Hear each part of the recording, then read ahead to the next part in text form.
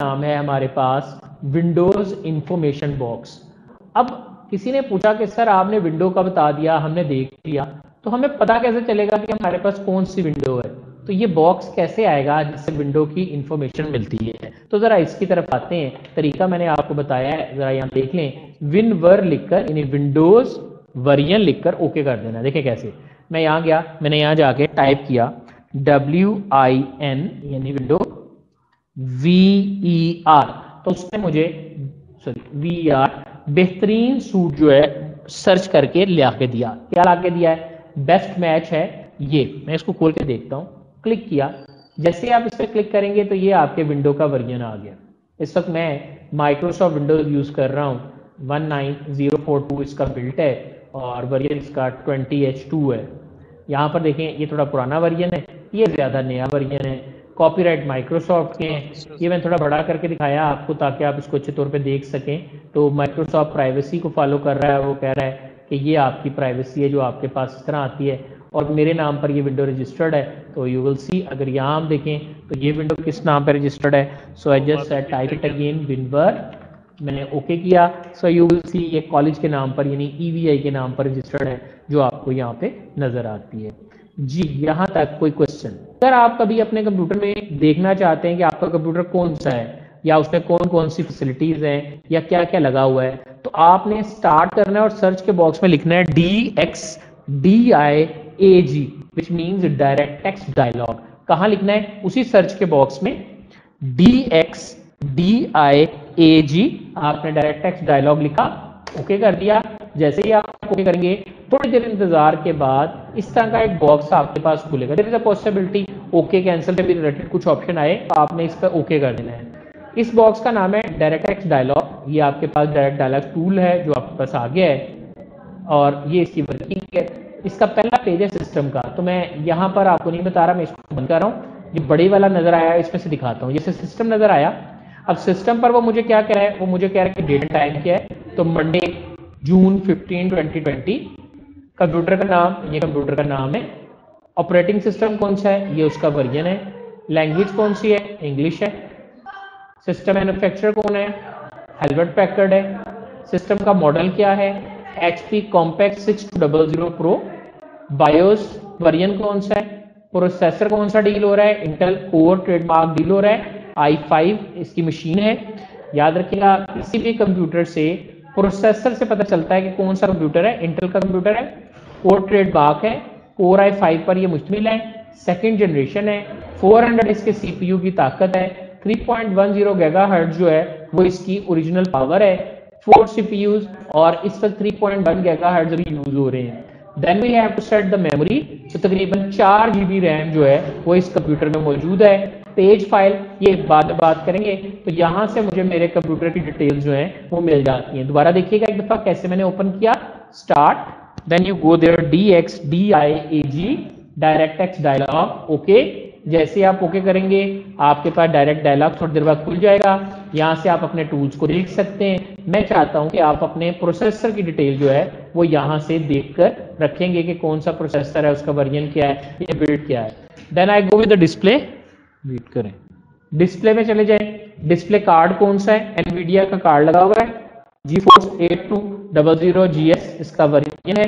Nvidia के साथ और ये इसकी रैम है वर्चुअल मेमोरी है शेयर्ड मेमोरी सारी आपकी वर्किंग यहाँ पे आ रही है। इसका ड्राइवर कौन सा है? ये इसके ड्राइवर की वर्किंग है। डायरेक्ट एक्सिस का क्या है? उसको अनेबल है या नहीं? जो भी उसकी वर्किंग है वो आ जाती है। साउंड डिस्प्ले पे वो कह रहा कोई प्रॉब्लम नहीं है। साउंड पे चेक करें। पर sound card speaker H D audio device लगी हुई है and there is also no problem then input devices पे आ जाएँ। माउस अटैच है कीबोर्ड अटैच है यूएसबी पोर्ट्स अटैच हैं बारकोड रीडर लगा हुआ अटैच है।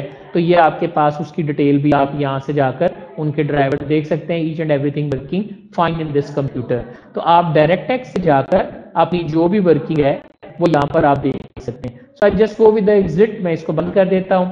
आगे चलते हैं। डायरेक्ट एक्स के बाद हमारे पास क्या है?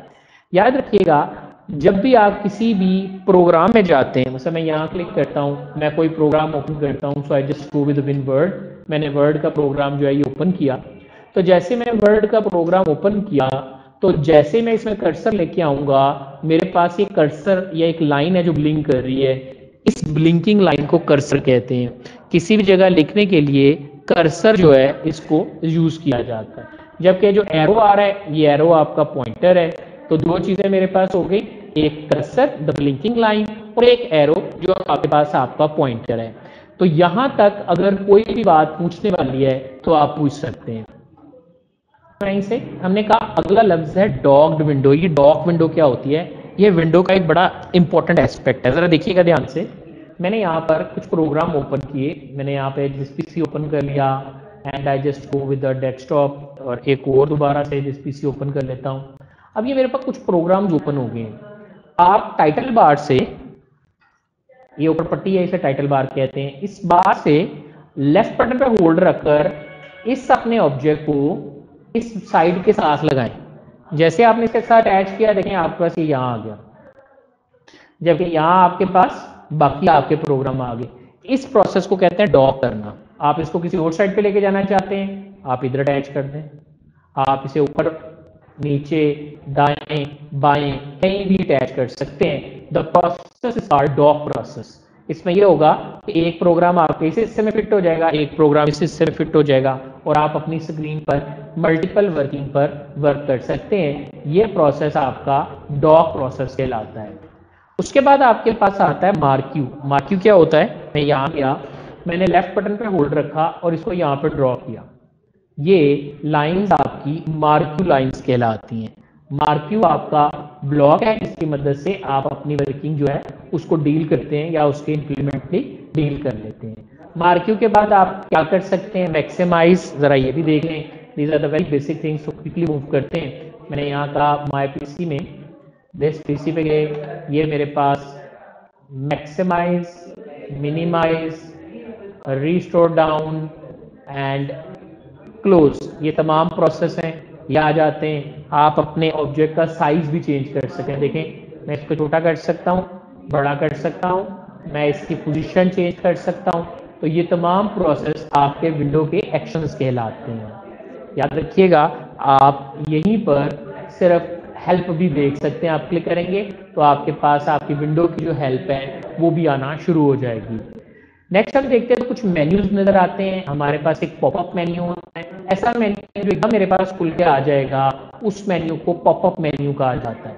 जो एकदम बंद हो जाता है, उसे पॉप डाउन मेन्यू कहते हैं। ऐसा मेन्यू जो राइट क्लिक से खुलता है, इसे कॉन्टेक्स्ट मेन्यू कहते हैं। जो एरो के बाद खुलता है, इसे सब मेन्यू कहा जाता है। और एक मेन्यू जो अपनी जगह चेंज करता है, उसे फ्लोटिंग मेन्यू कहते हैं। स्टार्ट पर क्लिक करने से स्टार्ट मेन्यू जो है, वो ओपन होगा।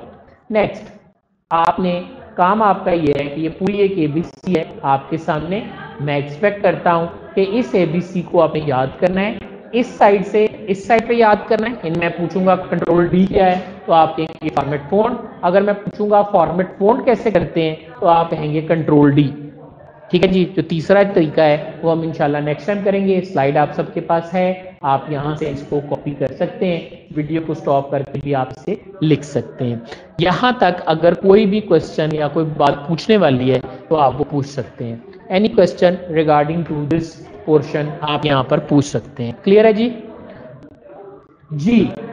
ऑनलाइन वाले जी, आप लोग को क्वेश्चन पूछना चाह रहे हैं तो यहाँ पर पूछ सकते हैं। हमने कहा, आप यहाँ लेफ़्ट बटन को प्रेस करके ना इसको मूव करें। तो देखिए, आपके पास ये डब्बा सा बनता आ रहा है।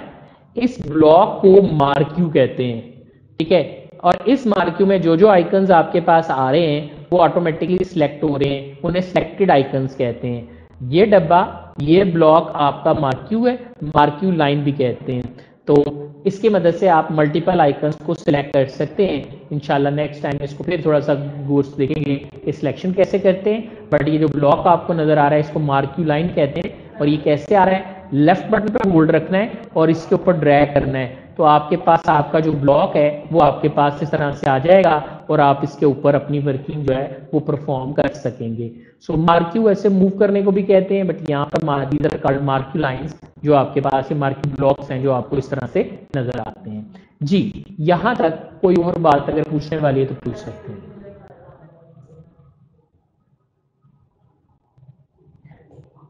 ओके okay, जी उम्मीद करते हैं कि आपका क्लियर होगा। अब आपका काम ये है कि आप लोगों ने जो भी मैंने शॉर्टकट कीज आपको दिखाई हैं, उन कीज़ को आपने याद करना है और यहाँ तक आपने अपनी वर्किंग जो है, उसको परफॉर्म कर लेना है। उम्मीद करते हैं कि आप इन सब चीज़ों को अच्छे तरीके से देख लेंगे। आज के लिए इतना ही रखते हैं। आप सबसे कहते हैं जहाँ रहिएगा, खुश रहिएगा। अल्लाह हाफिज़ to all of you have a nice day